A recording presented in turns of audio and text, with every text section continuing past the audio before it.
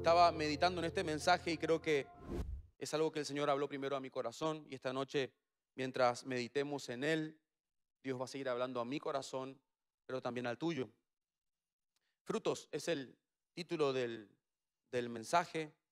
No es un mensaje ah, difícil de comprender, es, es muy sencillo, muy práctico, pero profundo a la vez.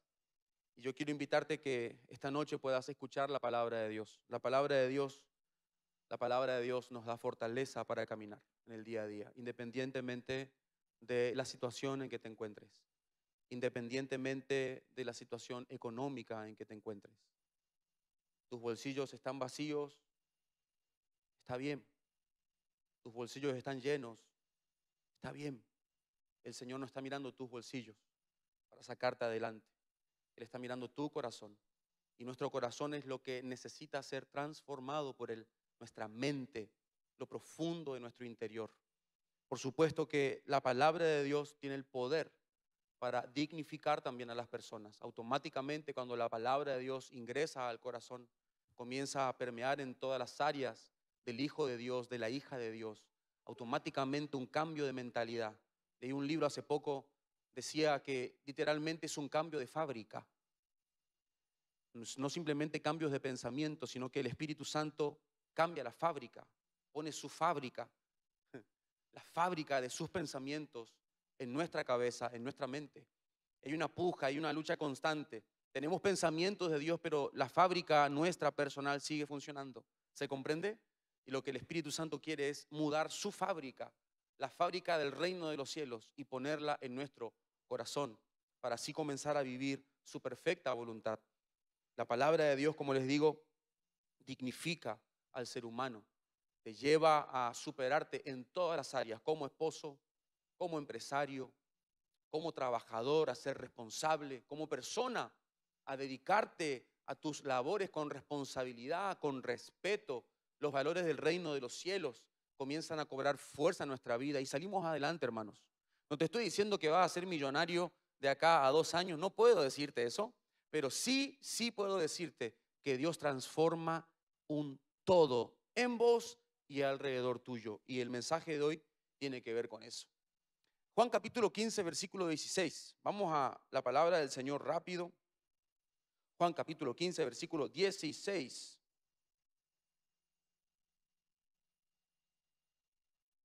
Acá está la respuesta para la gran pregunta de ¿cuál es mi propósito? ¿Verdad? ¿Cuál es el propósito que yo tengo? Yo sé que ya escuchamos y es cierto, darle gloria a Dios, adorarle, pero es tan amplio, ¿no? Es tan amplio. ¿Para qué Dios me eligió? Para que yo sufra. Pastor, desde que conozco a Dios me va peor. Ya escuché eso muchas veces, como que el hermano estaba considerando en en pegarse el, raje, ¿verdad? En irse del camino del Señor. Porque todo se puso más difícil cuando vino a la iglesia. Esa es la frase, la famosa frase. Pregunta, ¿alguien pensó así alguna vez? ¿Puede levantar su mano ahí? Pecador, pecadora, amén, bienvenidos. Todo lo hemos pensado en su momento. ¿Para qué me comprometí? ¿Para qué? ¿Para qué? Antes me iba un poquito mejor. Supuestamente pensamos que nos iba mejor, pero comienza nuestra mente a cambiar, nuestro corazón a cambiar, y lo que antes no nos dolía, comienza a dolernos. Lo que antes nos parecía que estaba bien, ahora comenzó a cambiar, porque nuestro corazón empezó a cambiar. Antes jamás nos preguntábamos si estaba bien hablarle mal o no a la mamá. Cuando escuchamos la palabra del Señor, ya nos sentimos mal. Honra a tu padre y a tu madre. Ahí entran los versículos bíblicos a dar luz a nuestra mente. Ahora, escucha, el versículo 16, acá está la, la gran respuesta a esa gran pregunta, ¿para qué? ¿Para qué yo estoy acá? Bien, dice el Señor lo siguiente, ustedes en la Biblia, en la nueva Biblia viva, así se llama la versión, me gustó, me gustó como lo dice acá, dice, ustedes no me escogieron a mí, sino que yo los escogí a ustedes y los he mandado para que vayan y den fruto, un fruto que dure para siempre. Así el Padre les dará todo lo que pidan en mi nombre. ¿Cuánto dicen amén a eso? ¿Verdad? Esa última parte nos encanta a todos. Ora, hermano, porque la Biblia dice, todo lo que pidas al Padre en mi nombre, Él te lo va a dar. Y ahí los hermanos están pidiendo pavadas, sandeces, tonteras, superficialidades. Ya lo dije en un culto y, tengo que volver a decirlo porque el público se renueva. No pidas un auto nuevo. No pidas superficialidades. No pidas un mejor sueldo. Pedí que el Señor transforme tu corazón. Y yo sé, vas a venir a decirme, pero pastor, ¿vos sabés cuál es mi situación? ¿Vos sabés por lo que yo estoy pasando? Y seguramente te estás hundiendo en esa tormenta, en ese mar de dificultades. Pero déjame decirte algo, déjame decirte algo. Dificultades van a haber hoy y siempre. Va a salir de esta, va a entrar en la siguiente. Va a salir de la siguiente, va a entrar en la otra. y siempre habrán dificultades, aflicciones, momentos difíciles. ¿Sabes qué necesitamos vos y yo, hermano? Ser renovados, tener el corazón del Señor. Que Dios toque nuestro corazón primero. Yo un día tenía un montón de necesidades. ¿Cuántos tienen necesidades acá? Necesidades de cualquier índole, todos, todos. Todos, y uno, unos más que otros, seguramente. Y estaba yo ahí con tantas presiones frente a mí, con tantas peticiones frente a mí, que no sabía por dónde empezar. Yo no sé si te pasa. No sabía por dónde empezar. Y pensaba, escuchen, pensaba, estoy, hablando de mí, ustedes, ustedes son todos santos, yo hablo de mí. Pensaba que si Dios me daba un mejor pasar económico, todos mis problemas se iban a solucionar. O pensaba que si Dios me daba una mejor, no sé, X cosa, me iba a ir mejor. Si Dios cambiaba o me daba una mejor familia de nacimiento, porque vengo de familia de padres separados, todo iba a ser distinto. Hasta que en un momento me di cuenta, hermano, que lo que yo necesito es que el Señor transforme mi corazón. Y le dije a Dios ese día, Señor, ¿sabes qué? Todas mis necesidades que queden ahí, que no se vayan. Es más, si me querés dar más necesidades, dame más. Si esas necesidades vienen a llevarme hacia vos, hacia el centro de todo. Si esas necesidades vienen a hacerme orar correctamente, Señor, que no se vayan, dame tu corazón. Un día lo conté hace un, un año atrás, dos años atrás, pasó mucho tiempo, son casi ya tres años de aquella operación, muchos no saben. Tenía acá un, nódulo de 5 por 4 que me estaba desviando la tráquea. Tenía una disfonía crónica producida por la presión de ese nódulo. Yo canto, yo soy predicador. Habían complicaciones, ya el nervio derecho de las cuerdas vocales estaba totalmente presionado. Yo después de una reunión, los chicos se acordarán, yo terminaba totalmente difónico, a diferencia de hoy, que tengo mucha más resistencia. Y yo cuando aparece ese quiste, ese nódulo, por supuesto, como todos lo hacemos con la enfermedad, fuera enfermedad, fuera, fuera, fuera, fuera en el nombre de Jesús, en el nombre de Jesús, fuera, que desaparezca. Y comenzamos después, cuando no se cumple la oración, comenzamos a negociar con Dios. Señor, ¿cómo esto me va a aparecer acá, Señor? Si yo canto para tu gloria, ¿verdad? Encima yo un día hice un pacto con Dios, siendo adolescente, que jamás iba a cantar para el mundo, solamente para Él. Y le recordé ese pacto al Señor, negociando pues. Tiene que sanarme si yo hice un pacto con él. ¿No? No sé si a usted le pasa, a mí me pasa eso. Y le dije, Señor, ¿cómo voy a tener este quiste, este nódulo? ¿Cómo a mí me va a pasar que te sirvo? Justo acá en la garganta, no podía aparecer en otra parte, no, acá en la garganta aparece. Y hay complicaciones, Señor, como mi salud. Y comenzaron a venir los miedos cuando no se iba y cuando comenzaba a crecer esa porquería que tenía acá, crecía, crecía, crecía, crecía. Los pronósticos no eran favorables. Dios mío. Hasta que un día, te estoy haciendo corta, hermano, fueron cuatro años de convivir con esa cosa, cuatro años de prueba, cuatro años de dejarme tratar, cuatro años de orar correctamente o de intentar orar correctamente. No, no es fácil. Si Dios me quitara este nódulo ahora, yo tendría más fe, tendría un testimonio poderoso de decirle a la gente, Dios sana o no, Señor.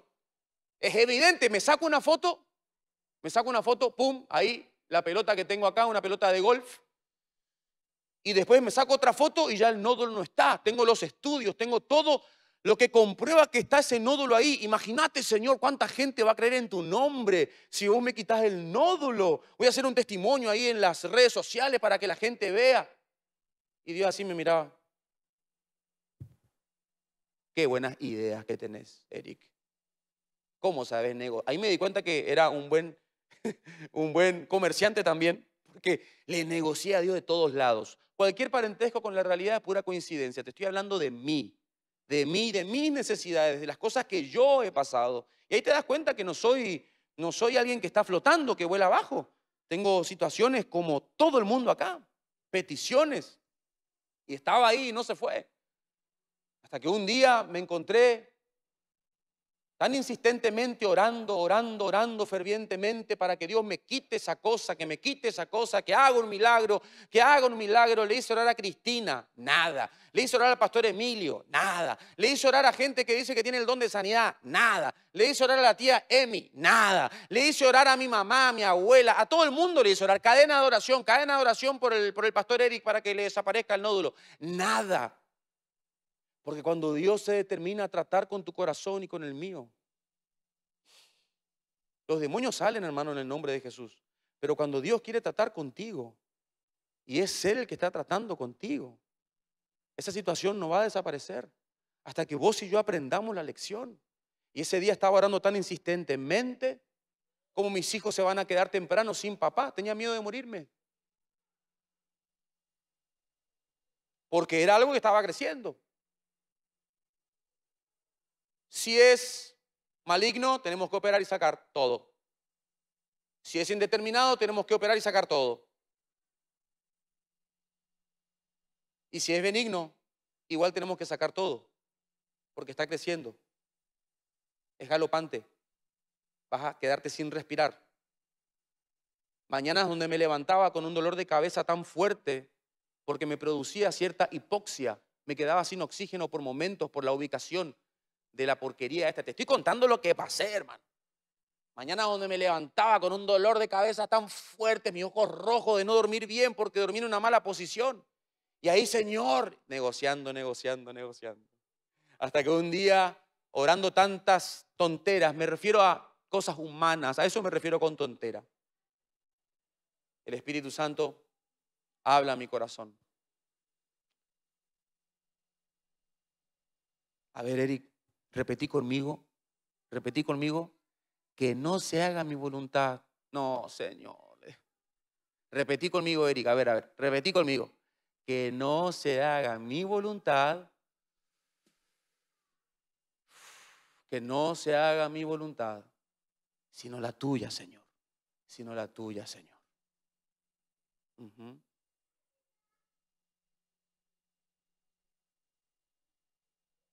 Y ahí le dije, Señor, te entrego a mis hijos. No sé lo que va a venir.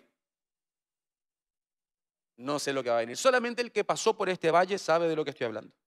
Y no es una exageración. No sé lo que va a venir, Señor. Solo te pido si esto vino a enseñarme algo, yo pueda aprender la lección. Que no se haga mi voluntad, sino la tuya. Señor, no me lo quites. No me lo quites, que se quede ahí. Que no se haga mi voluntad, sino la tuya. Después de la operación, después de la operación,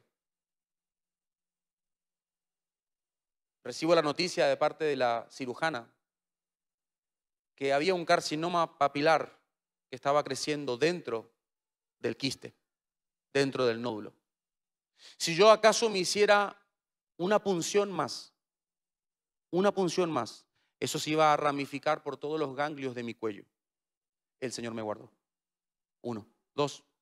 Cuando ella me está diciendo eso, yo recuerdo que hace exactamente unos 10 años atrás u 11 años atrás, yo estaba en una iglesia, en una congregación pequeña, había terminado de predicar, estaba despidiendo a la gente, estaba saludando con el, con el pastor de la congregación. Viene un hombre con anteojito y camisa blanca rayas, no me olvido. Viene caminando y me dice, pastor, ¿puedo orar por tu cuello? Me dice. Eh, así de la nada. Sí, le digo. ¿me permitís? ¿Puedo poner mi mano en tu, en tu garganta? Me dice. "Eh, sí, sí, puedes. ¿Me permitís orar? Sí, sí, sí. Cáncer. No vas a prosperar. Imagínate, yo terminé de predicar, hermano, no tenía nada, estaba súper bien de salud, y este tipo viene de la nada y dice, cáncer, no vas a prosperar.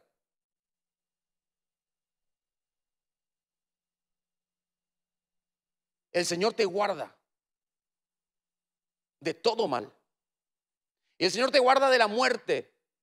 Y el Señor va a hacer un milagro. Te quedas ahí encapsulado y no vas a crecer y no vas a salir de ese lugar.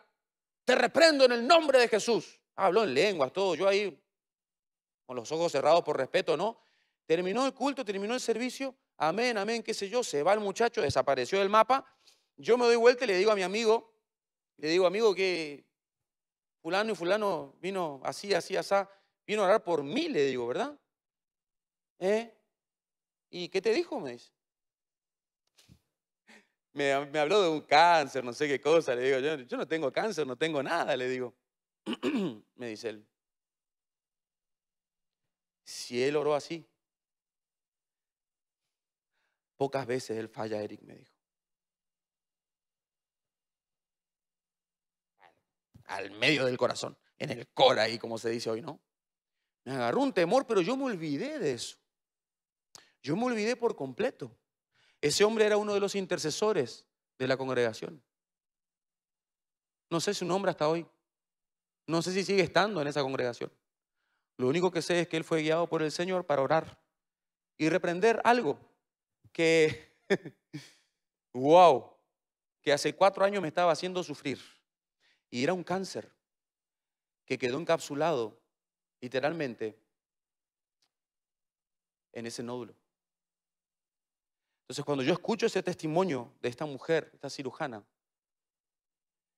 ella me dice, usted está libre, está totalmente sano. Usted es muy amado, parece, me dice.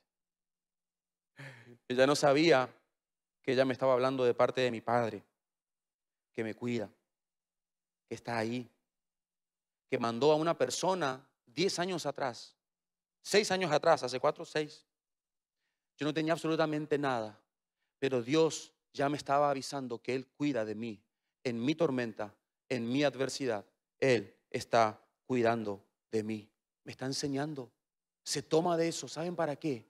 Para que yo dé fruto y que ese fruto permanezca. Para eso me escogió el Señor, para que yo pueda dar fruto. Y en medio de la adversidad me doy cuenta de que estoy hecho. En medio de la adversidad me doy cuenta cuál es el fruto que tengo dentro de mí. En medio de la crisis. Me encanta porque dice este versículo,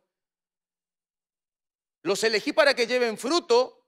En la versión Reina Valera dice, y ese fruto permanezca. En la versión que yo leí dice, ese fruto dure para siempre. Es decir, no son rachas espirituales. Escucha, hermano, no son rachas espirituales. No es que vos estás una semana bien con Dios, una semana te vas a robar, fornicar, delinquís, decir malas palabras, la siguiente semana te santificás, le servís al Señor, venía a los estudios bíblicos, la siguiente semana haces de tu vida lo que se te canta. Esas son rachas. Eso no, eso no. Eso no es lo que el Señor quiere. El Señor quiere que nuestro fruto permanezca. Ya voy a avanzar y voy a explicar a qué se refiere con fruto. Y todo tiene sentido. El testimonio que te conté, Dios se prende de nuestras adversidades para mostrarnos a nosotros mismos cómo estamos. Quiero explicar esto. Dios ya te conoce. Dios sabe cómo vos sos y cómo yo estoy, como yo soy. A Dios no le hace falta la prueba para darse cuenta de qué estamos hechos. Vos y yo necesitamos de la prueba para reconocer de qué estamos hechos. Y Dios ahí cuando vos y yo actuamos en humildad y reconocemos que nos falta carácter, que nos falta mansedumbre, que nos falta paciencia, que nos falta templanza, que nos falta gozo, que nos falta la paz que viene del, del Señor, no de este mundo. La paz que viene de este mundo depende del sueldo, depende de la casa que tenés, depende del auto que tenés. La paz que procede del cielo no depende de absolutamente nada de lo que este mundo puede darnos. ¿Se comprende?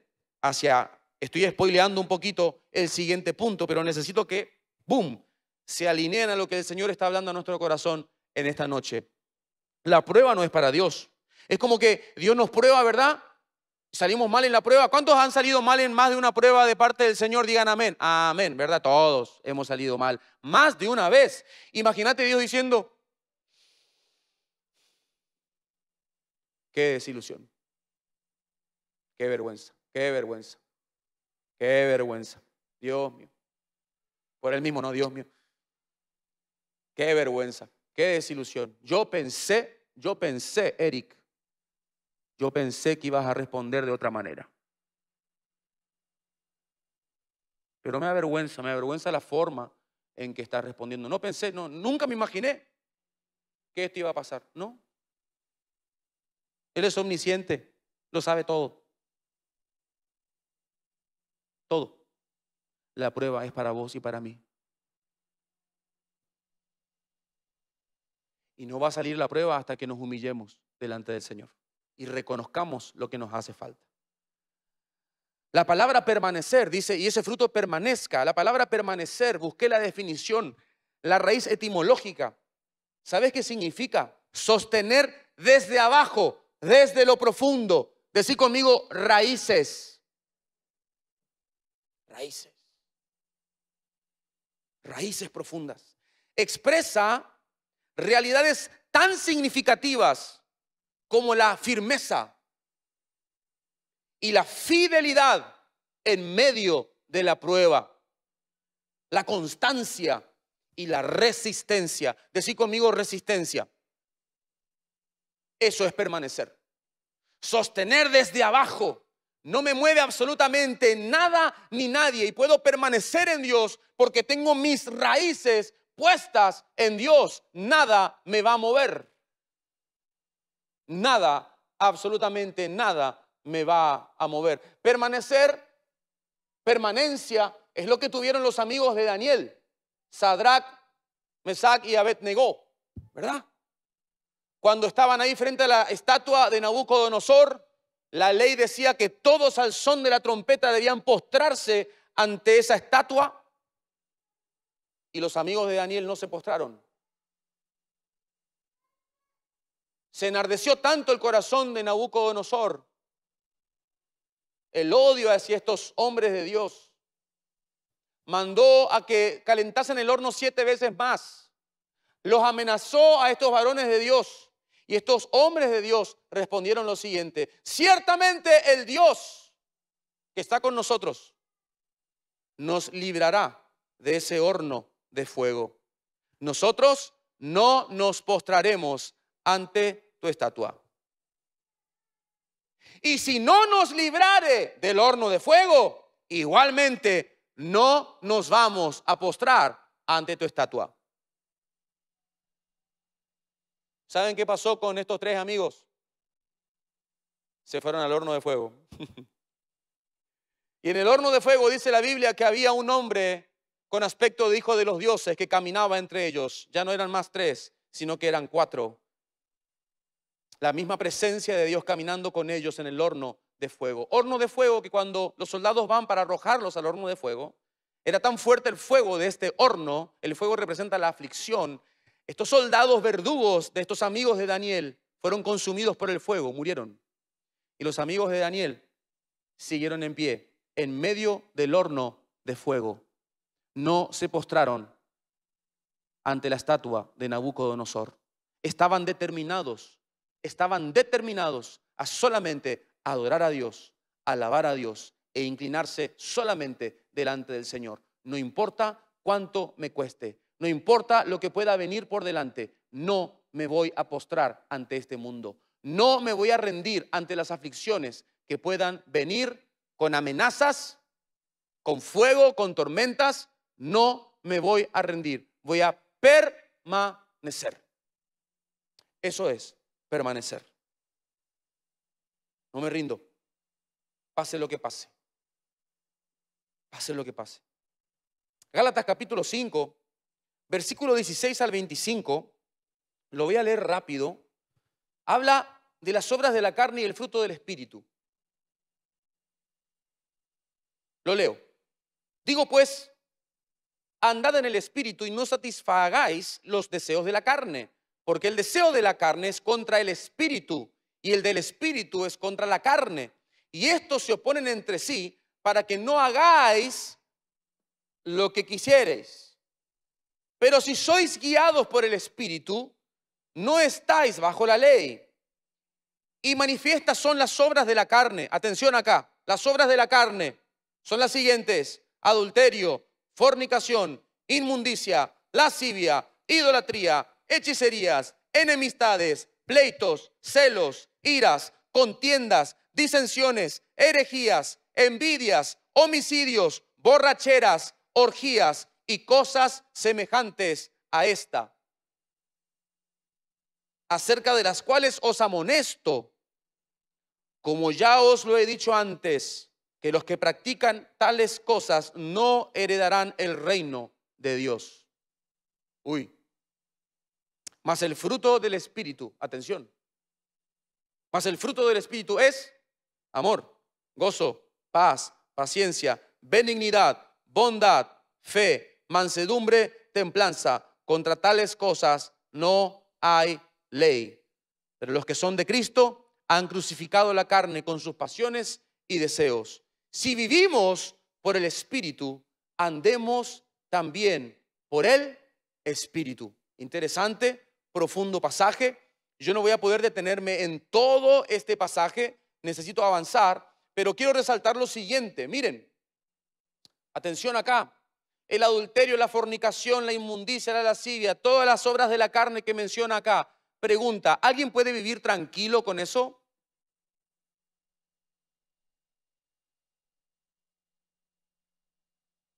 Si estás cerca de una persona con inmundicia, con lascivia, con envidia, ¿estás tranquila, tranquilo?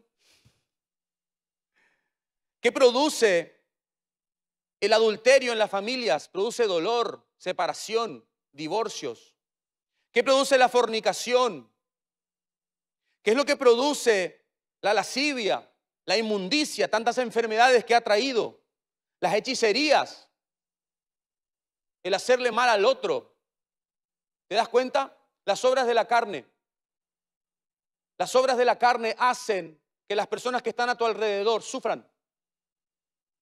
Las personas que están a mi alrededor sufren por las obras de la carne. Y sé lo que vas a estar pensando. No, pero acá nadie fornica, Nadie tiene lascivia, no sé. Nadie tiene idolatría, no sé. Nadie en la iglesia está enemistado, ¿verdad? Nadie, no, acá no pasa eso. Nadie, nadie está en busca de pleitos. ¿Conoces gente que está en busca de pleitos? Pleitos, pleitos, pleitos, pleitos. Si no tiene pleito, parece que no está tranquila, tranquilo. Dios mío. Horas de la carne. Le pone nervioso a todo el mundo. Horas de la carne. Ira, Celos, nadie tiene celos, ¿verdad? No, eso no pasa. Contiendas. Herejías. Envidias. ¿A quién le gusta compartir una mesa con gente envidiosa? Digan amén. A nadie. ¿A quién le gusta compartir la cena de fin de año con un borracho? Vos sabés que antes de las 12 ah, y comienza a hablar pavadas ahí. ¿A quién le gusta? ¿A quién dice amén? Quiero, quiero cenar con un borracho. Me refiero al borracho que practique, que le gusta tomarse ahí su... A una persona que tiene un desorden de perversión sexual. ¿Le dejarías a tus hijos con una persona que tiene desorden sexual en su mente? ¿Le, dejarías a tu hija, a tu niña, con esa mujer, con ese hombre? Las obras de la carne afectan a nuestro entorno. Las obras de la carne son las obras que están trayendo sufrimiento a tu vida y al entorno que te rodea ahora mismo. No sé cuáles son. Decime vos después o decite vos mismo, vos misma después. Yo sé cuáles son las obras de la carne que yo necesito vencer, porque tengo y lucho todo el tiempo. Acá es clarito el pasaje. La carne está enemistada con el espíritu, pelea todos los días. Y te voy a decir algo más, hermano y hermana, no le eches la culpa al infierno. No le eches la culpa a los demonios. No. Desde tu propia carne y mi propia carne concupiscencia. El mal que habita en nosotros nos lleva a cometer pecados. Adrian Rogers, un pastor bautista, decía que si el infierno fuera raído de la existencia, si Satanás y sus demonios desaparecieran ahora mismo del mapa, nosotros seguiríamos pecando. Porque el mal está en nosotros. Las obras de la carne y está el fruto del Espíritu. Cuando hablo de fruto estoy hablando de carácter. Decí conmigo carácter. El Espíritu de Dios quiere impactar en nuestra forma de encarar la vida, en nuestra manera de vivir. Ahí es donde el Espíritu de Dios quiere impactarnos. En la forma de criar a nuestros hijos. Cuando tus hijos se portan mal, escúchame bien lo que voy a decirte. Sí, cuando ese niño que está ahí hermoso, chiquitito, que va con su mamá ahí hacia el fondo, se porta mal, ¿cómo le corregís a tus hijos? ¿Le corregí con un sopapo rápido? ¿Con un tongo? ¿Una capeté en la cabeza? Te voy a decir algo, te voy a decir algo, y nos causa gracia, pero te voy a decir algo, eso es violencia.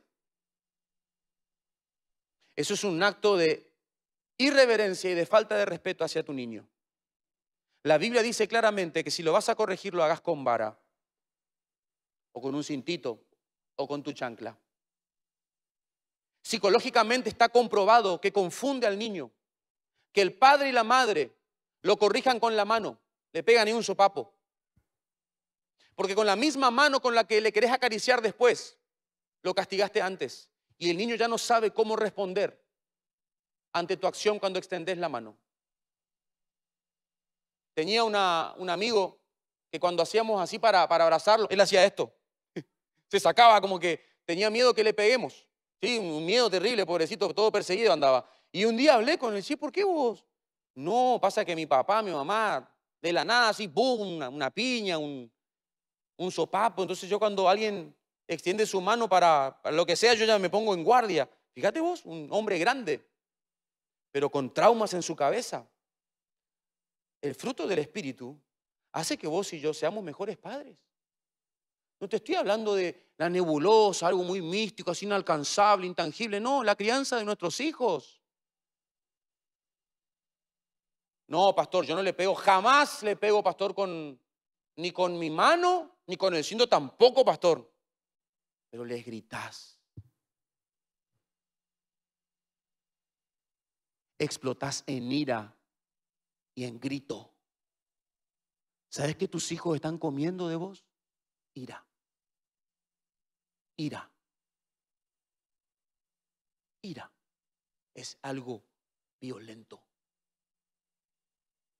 Violento. No se corrige gritándole. No es un perro, no es un animal. ¿Cuál es la famosa frase de hoy en día? ¿La gente se entiende? Hablando. Sentalo a tu niño, a tu niña. Llévalo a la habitación. No lo castigues delante de todos. El fruto del Espíritu nos hace personas sensatas, ubicadas, equilibradas. Llévalo al baño, llévalo a la pieza. Explícale por qué le vas a castigar y metele un cintazo ahí en la cola, no en la cabeza, en la espalda, en la pierna, en la cola, en su colita, boom. Medí tu golpe, no lo corrijas con ira, corregilo con amor. Porque van a crecer un día. Y podemos repetir patrones. ¿Se comprende lo que estoy hablando? El fruto del Espíritu impacta en nuestra forma de conducirnos diariamente. Y para esto necesitamos del Espíritu Santo. ¿De quién es el fruto del Espíritu? El fruto del Espíritu. ¿De quién es el fruto? Es de Él. Las obras de la carne, ¿a quién pertenecen? A vos y a mí. ya las conocemos, ¿sí o no? El fruto del Espíritu, ¿de quién es? Del Espíritu. Si yo quiero el fruto del Espíritu, con mayúsculas se refiere al Espíritu Santo, necesito la asistencia del Espíritu Santo en mi vida cotidiana. El fruto del Espíritu, por ejemplo, uno de los tantos, Mansedumbre. Hay mujeres que necesitan mansedumbre. Y hay hombres que necesitan mansedumbre. Todo va de la mano. Una palabra tuya puede destruir a tu esposo, a tu esposa. Y le conoces perfectamente, conoces sus debilidades, conoces su talón de Aquiles. Y si vos querés ser mala, querés ser malo, en un momento de riña, de disensión, de desacuerdo, y vos querés sacar la obra de la carne, vas a explotar en ira, le vas a maldecir, le vas a decir cosas hirientes. Yo sé que nunca acá pasó con ustedes, ¿verdad? Le vas a decir cosas hirientes para herirlo, para lastimarla. Pero ¿sabes qué hace el fruto del Espíritu? Que produce mansedumbre. Cuando vos estés a punto de explotar, el Espíritu te dice, shh, Oh, oh, oh, oh, Cálmese, cálmese, cálmese. silencio. Pero tengo razón. silencio. Pero es injusto. Silencio. Mansedumbre.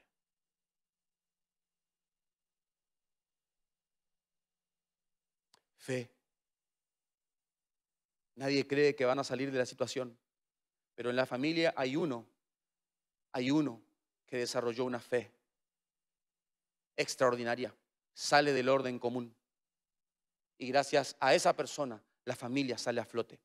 ¿Conocemos testimonios, sí o no? Pero alguien tiene que creer.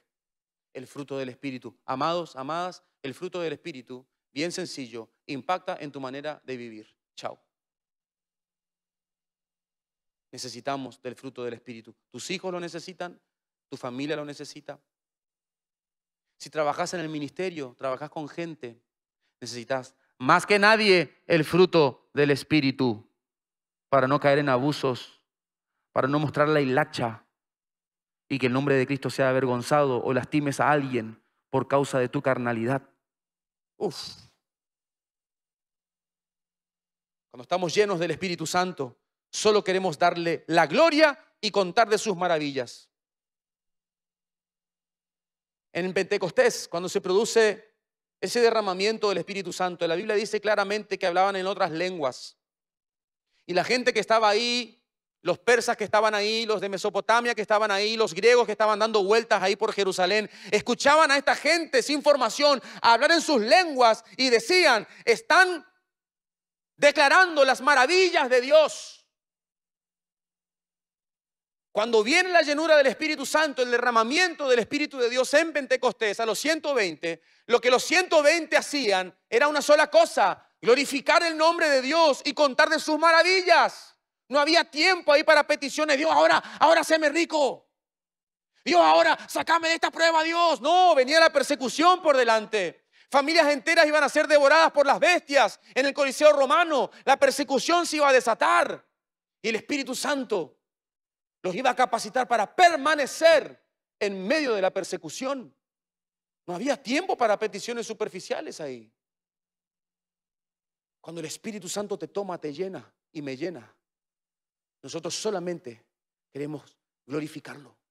Hay palabras de gratitud de nuestra boca, glorificarlo, darle gloria a su nombre, contarle a todo el mundo de sus maravillas.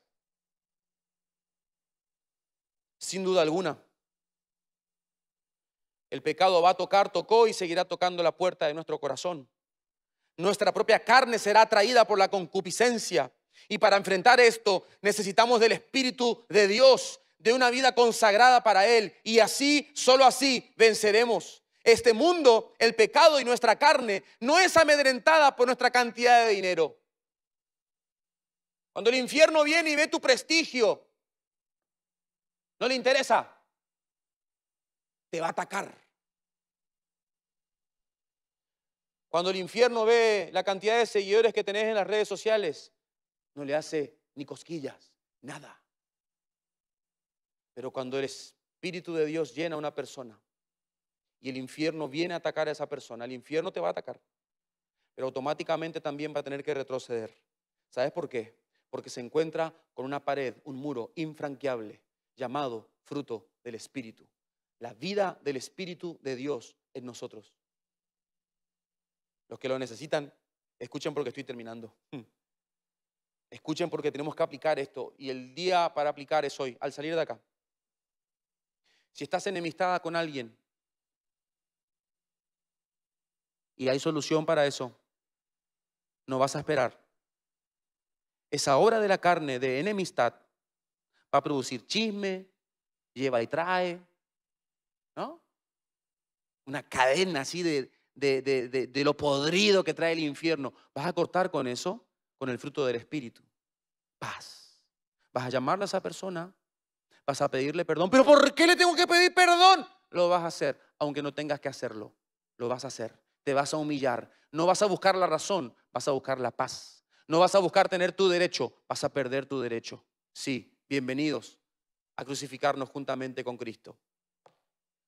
Bienvenidos a la vida del Espíritu. Bienvenidos. Bienvenidos, ¿saben a qué? A vivir más livianos.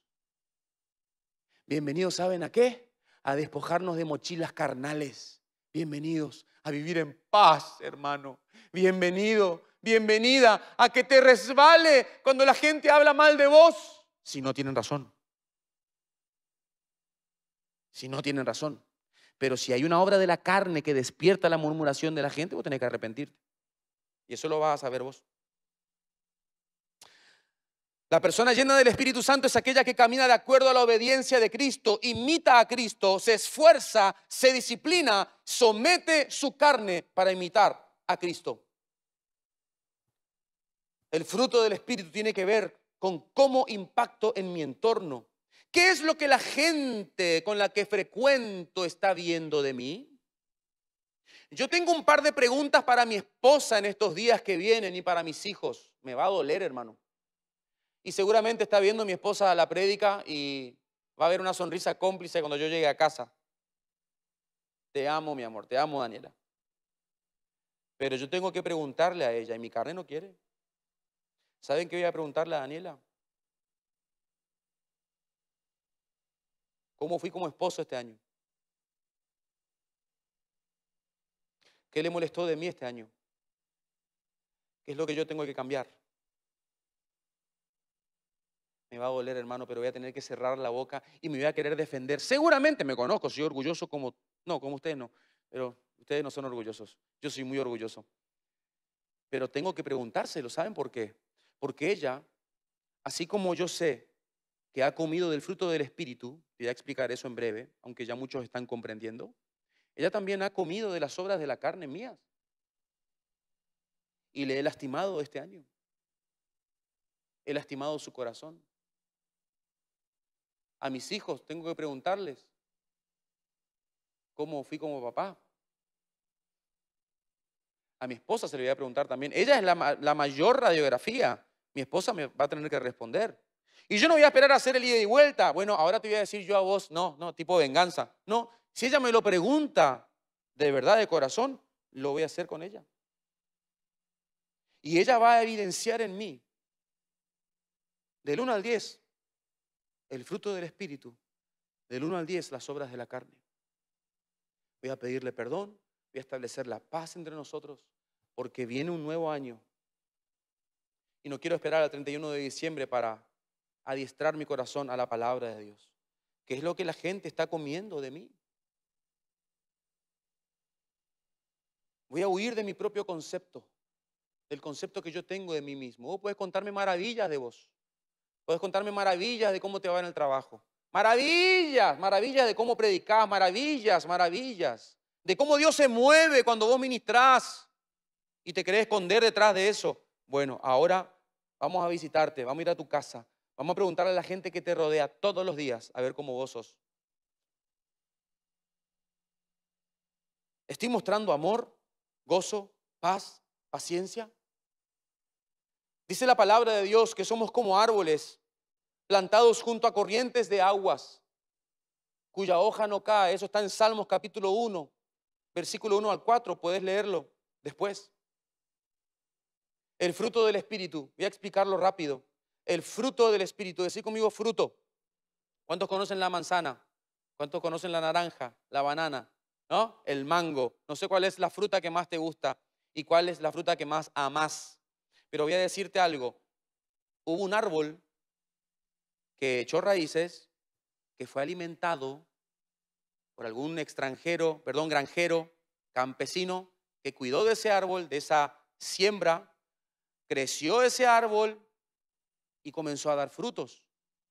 Esos frutos se recolectaron y llegaron al mercado de abasto y ahora están en tu heladera, en tu casa. Alguien se encargó de cuidar de ese árbol y ese árbol dio fruto. El fruto de ese árbol no es para ese árbol. El fruto de ese árbol es para nosotros. Es para que nosotros nos alimentemos, nos saciemos, disfrutemos sanamente de la fruta, de la verdura. ¿no? El fruto no es para vos ni para mí.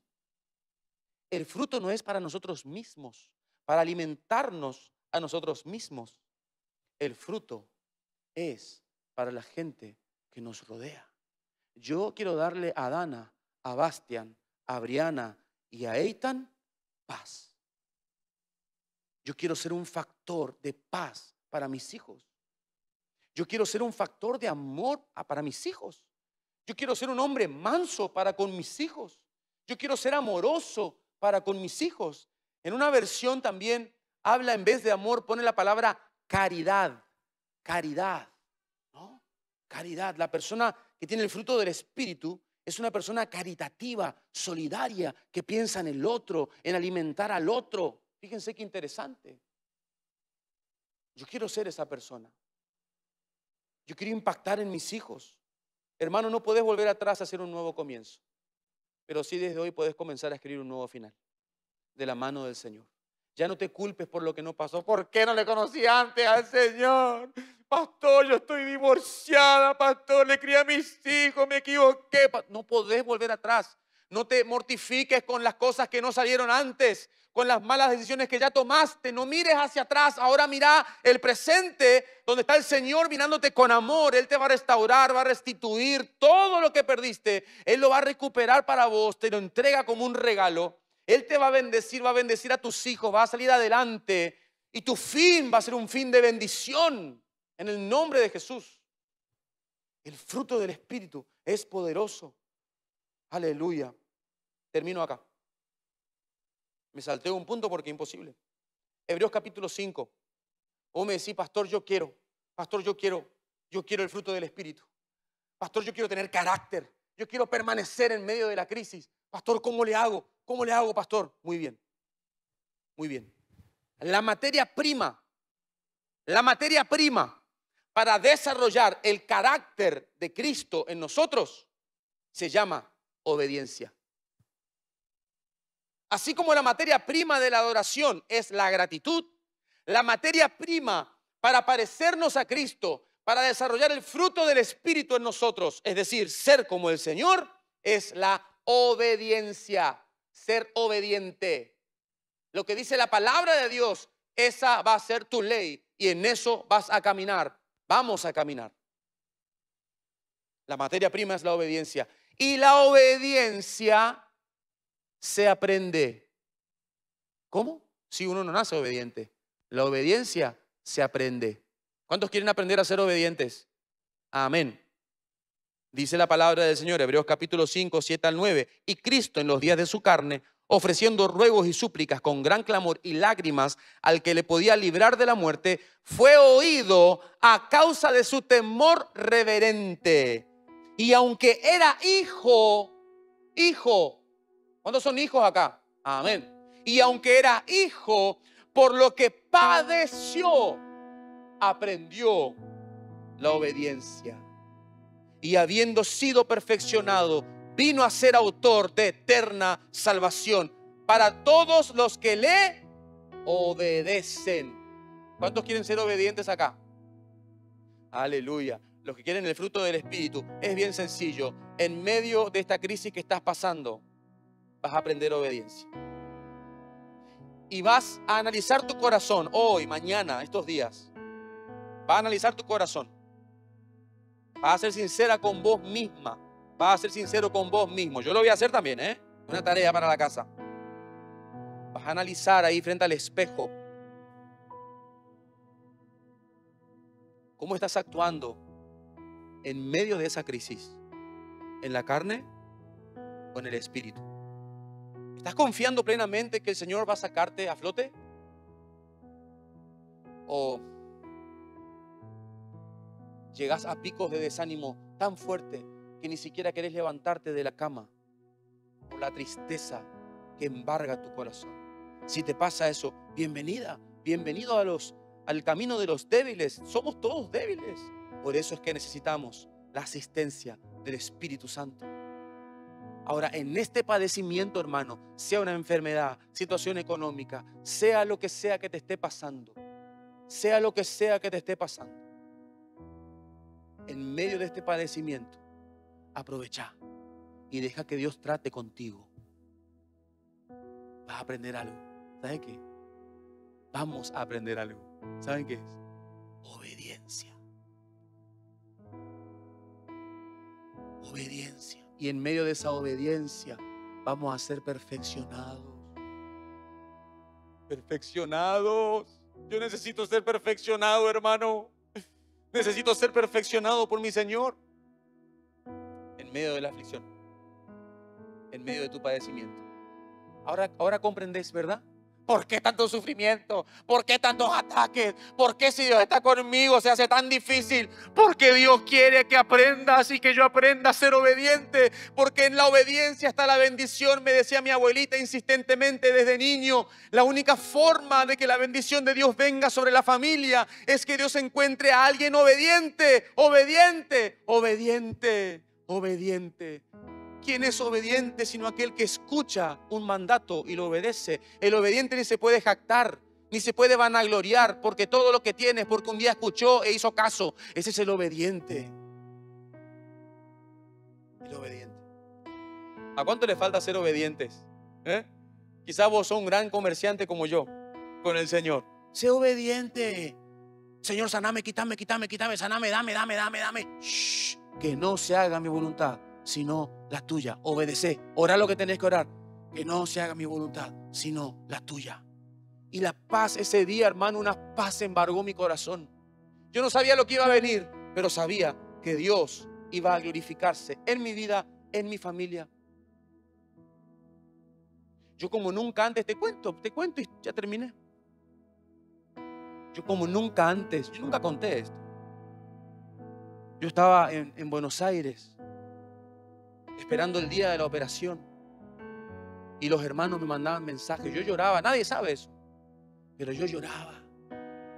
Porque los hermanos me mandaban mensajes diciéndome, pastor, nos estamos moviendo acá para conseguir todos los fondos, pastor, para ayudarte, pastor.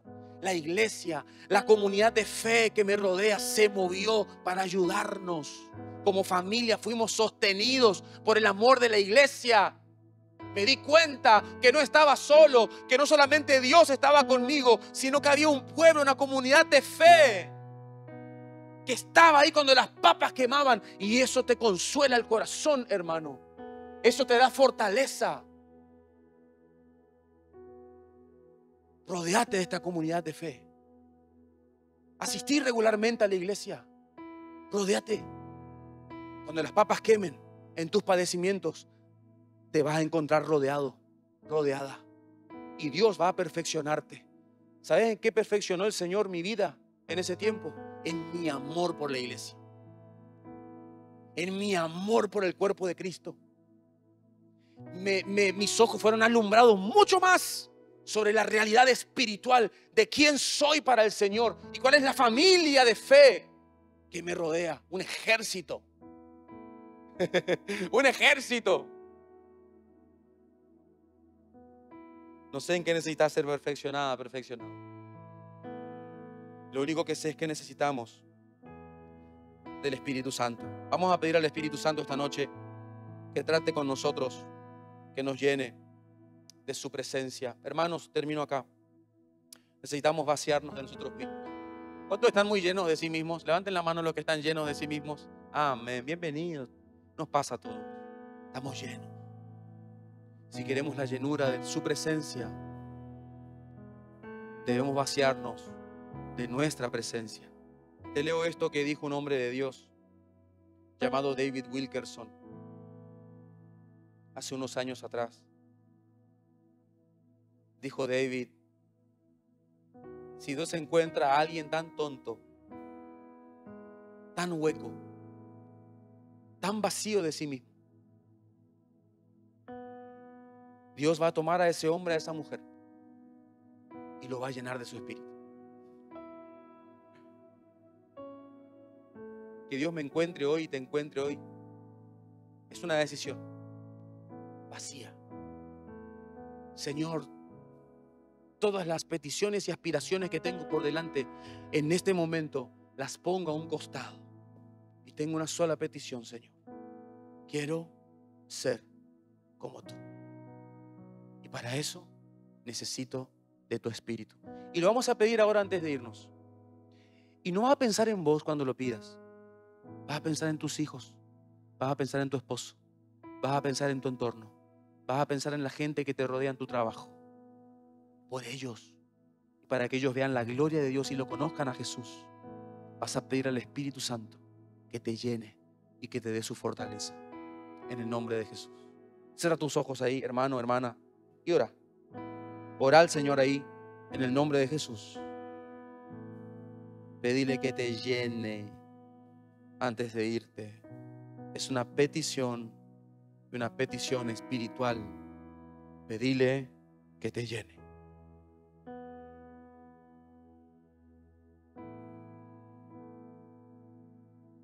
Yo quiero el fruto del Espíritu en mi Señor. Perdónanos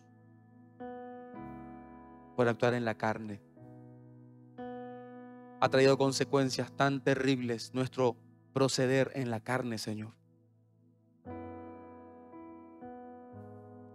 Quizás el sufrimiento que estamos padeciendo hoy fue causado por nuestra carne. Señor, queremos conocerte.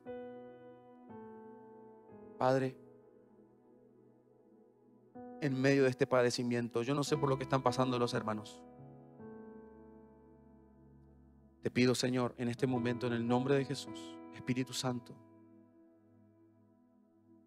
que puedas traer esa paz que sobrepasa todo entendimiento al corazón. Y que cada uno de los que estamos en este lugar sepamos que no estamos solos, que Dios está en control y que vamos en un camino y por un camino de victoria. Lo único que tenemos que hacer a partir de hoy es escuchar y obedecer. Y en la obediencia está la bendición. En el nombre de Jesús. En el nombre de Jesús. Consuela al corazón afligido.